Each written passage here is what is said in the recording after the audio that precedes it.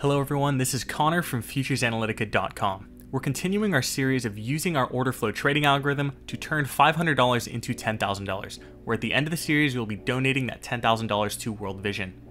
We're going to be trading the strategy we highlighted in our last video, which is based on equity research published by currently employed traders at top investment banks around the globe. Our strategy is based on unusual asymmetrical order flow imbalances and market entropy. If you're interested in learning how to use this strategy and seeing exactly why this strategy works, I have a video linked on the screen right now. The market has just opened. However, as you can see, the bars prior to the opening are very high entropy. We're waiting to turn on the strategy until we see it exit this zone, which will be signaled by price crossing the green line just below where price is sitting at currently.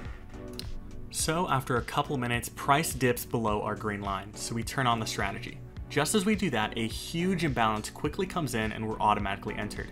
From here on out, we're going to continuously keep the strategy enabled until we see an increase in entropy. We got filled on that trade really, really quickly, leading to our first win of the day, just over $115 a profit. Shortly after that, we get our second trade, which is quickly filled for another winning position. Like we said, we're leaving the strategy on. However, this time it takes a bit longer for us to get filled into another position, so we miss out on a nice little short move. If you're a trader who wants to take advantage of every big price movement and try to predict every top and bottom, this strategy is not for you. We are not even attempting to predict where price is going.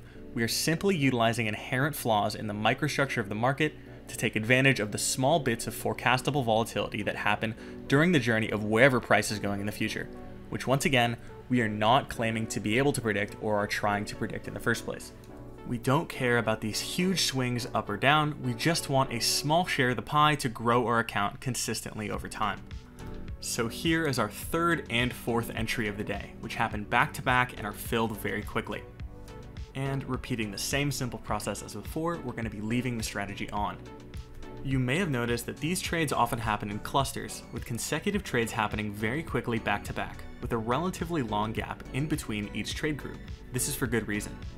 You're witnessing the strategy only entering when it detects the presence of big money scaling in or out of a position, and we're taking our cut of the profit by riding the wave of the price move that will always happen when that much money flows in or out of the market. So there is our fifth and sixth entry of the day. Our sixth entry takes a lot longer to get filled, and we're also seeing price approach that red support line automatically marked by our system. This leads us to not rearm the strategy as our trade gets filled. Also, if you haven't noticed already, our account balance tracker was not on the screen until now. We forgot to enable it on our recording software. I'm super sorry for this. As this was recorded in real time, I make mistakes too when prepping for a trading day.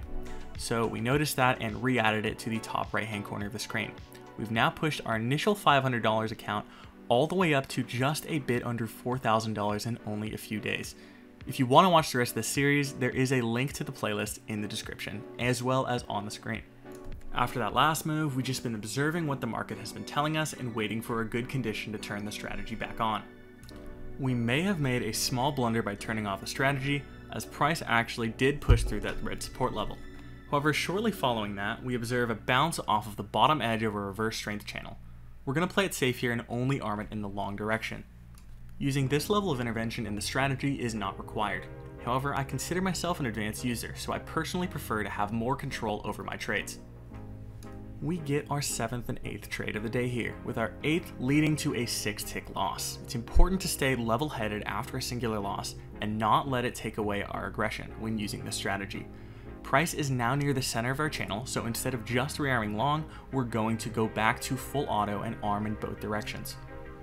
And now we are back to the waiting game, looking for some sort of trade entry, completely missing out on the very straightforward long move here, which can be difficult to watch, but patience is a very important skill to learn when using a strategy such as this. To make matters even more frustrating, no trade is picked up on a consecutive quick short leg, and even after that, where another long leg forms with no trades being taken. I think I can speak for all of us using polarity that no matter your experience level, it will always be frustrating looking for an entry that does not come when you want it to. But this is just the nature of trading this way and it's like this for a reason. I will gladly take the trade off of missing those legs if I'm getting consistent small scalps. But On a new bar formation, we get a triple short imbalance right at the top of that bar, which enters us into a short trade, finally. We end up getting filled, and our profit for the day is now at our high goal of $1,000 on the day. I am very over leveraged for the sake of completing this challenge quickly, and I can afford to lose the money I have at stake here. If you're trading with a similar account size, I do not recommend using three contract like I was in this video. I would start with a much smaller amount or trading MES until you get to a sizable amount you're comfortable moving over to ES with. With this, we have concluded our Monday session, and we do not trade the small account again until the following Tuesday, which you will now be seeing, along with probably one of the biggest trading blunders I have ever made, which I hope you get a little bit of a chuckle out of. Now, moving on to day two, with some pre-market footage. This is the origin of the mistake that cost me over $1,500 of profit on this account. We've been experimenting a little bit with building an entropy suite, an auxiliary system you would have to the side which can help you use polarity more effectively, and you're seeing one of the first completed components of this here, which are entropy-based bars. You're also seeing the regular built-in NinjaTrader trade detector, which comes by default with their lifetime license The plan was to wait for a big block order and place one trade at open with a tight stop and tight take profit. However, it did not play out this way. Not only did we not have the correct account selected, we did not have an ATM strategy selected either. And since NinjaTrader account and ATM strategy selection is synced in the same chart window, along with the fact that we had to reset our workspace during the last week, leading us to incorrectly set up our account data window, this was a perfect storm for a big loss. However, we don't even notice that until the end of the trading day. So back to our unaware selves, we are looking at a low entropy market open with a high entropy zone at the previous level above the green reverse strength band. So at the open, we arm in both directions in normal mode. At the market open, we get an easy trade entry followed by a quick win. Sticking to our routine, we are going to keep the strategy armed in both directions. But even with the opening volatility, no consecutive fill happens for a while. But here we're seeing the market start to follow the lead of what happened at this level previously, transitioning to a high entropy market condition. This all happens very quickly, but when we get that first fill, we keep it armed in both directions, but now we're in regression mode. Instead of just disabling the strategy completely in a high entropy zone, I'm demonstrating a way to still make money in these areas. We're just going to do the same thing we always do, but with the strategy in regression mode instead of trend. And what I'm doing with those yellow vertical bands you might be seeing on the screen is I'm making a basic visual indication of bars that have a delta divergence. A very long string of winning trades happens very quickly, which is somewhat common in regression mode. We're automatically capturing high probability regressive price action in this usage type. If you looked at this string of bars without knowing about the strategy, I think you and I could both agree that trying to trade this open would be an absolute nightmare if we were following a traditional TA based strategy. But for us, these types of zones are insanely profitable. In the first two and a half minutes of the market open, we made almost $1,000 with eight wins and one loss, with another two wins happening shortly afterward while the market is still transitioning. This is why I love this type of high frequency scalping. It reveals so many trading opportunities that before would have been unthinkable. So now we are just over $1,000 of profit with 10 wins and 1 loss in just 4 minutes. We saw price dip outside of the red support line, so we're either going to call it for the day if it stays out or try and get a few more regression trades if it re-enters that high entropy area. However, the delta price correlation holds strong, along with price dipping back outside of the entropy zone, so we end up calling it with $1,100 of profit. But here we check on NQ, thinking we'd already been either pulled out of the trade with either a defined win or a loss.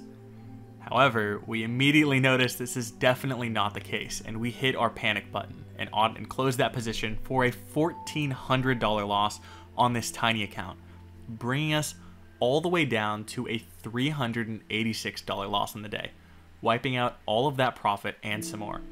Super demoralizing, and I was pretty upset for the rest of the day about this mistake. Always double check before trading and never leave a position unattended. But we can't dwell on that, and we're simply going to have to live with our mistakes and move on to the next trading day. So here we're looking at pre-market. Super similar opening zone to the previous day's session, with the open being at the same level as a prior high entropy zone.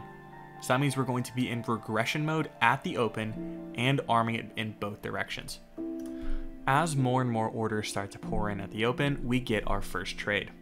And as we do that, we are obviously going to be using the same process as before and continuously keep the algorithm in full auto configuration in both directions.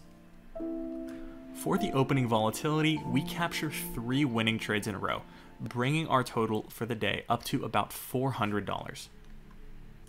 And from here on out, we're going to keep repeating the process. Entropy was so high during that whole zone that it is practically impossible for there to be a straight moonshot move for trend mode to be effective, even after pushing above the green resistance boundary. And after two winning trades, price has now failed to re-enter its high entropy zone, with two strong divergences back to back in this area.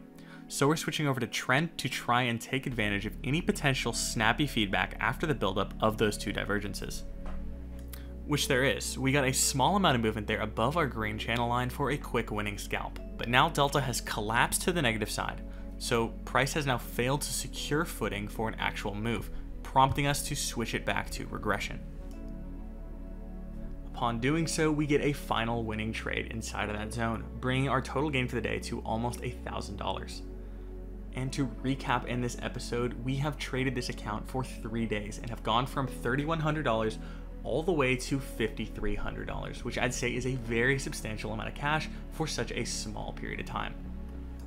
Anyway, I just want to thank all of you guys for 10,000 subscribers. This channel has grown so much from where we started, and I'm so excited to see what comes next. If you guys enjoyed this content or have any suggestions for what to trade next, it would mean so much if you subscribed and left a comment. Thank you guys for everything and happy trading.